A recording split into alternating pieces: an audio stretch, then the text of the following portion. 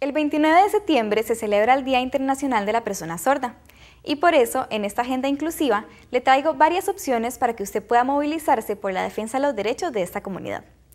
En primer lugar, para apoyar la diversidad cultural y el cumplimiento de los derechos de las personas sordas, usted puede participar en la marcha del Día Internacional del Sordo.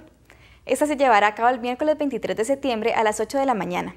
Dará inicio en el Parque La Merced en San José y finalizará en la Asamblea Legislativa. Personas sordas y oyentes de todas las provincias esperan participar en esta marcha para mostrar su apoyo. Y si usted también quiere participar, puede buscar más información en la página de Facebook Día Internacional del Sordo.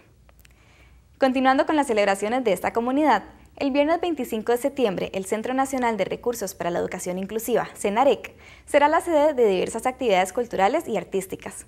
Esta feria se realizará desde las 8 de la mañana hasta las 8 de la noche y quienes participen podrán disfrutar de actividades como la transmisión de cortometrajes realizados por personas sordas. Si quiere saber más sobre esta actividad, puede encontrar información en la página Día Internacional del Sordo en Facebook. Cambiando de tema, si usted es una persona mayor de 50 años, habitante de Alajuela, Heredia o Cartago, la Asociación Gerontológica Costarricense necesita su ayuda. AGECO está buscando personas para participar en su Observatorio de Derechos Humanos, un proyecto en que personas de todo el territorio escriben reportes sobre la situación de derechos que viven las personas adultas mayores de su comunidad.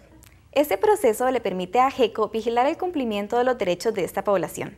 Si usted está interesado en participar en este proyecto, puede comunicarse con Jennifer Jiménez al teléfono 2542-4532 o al correo jjiménez.ageco.org.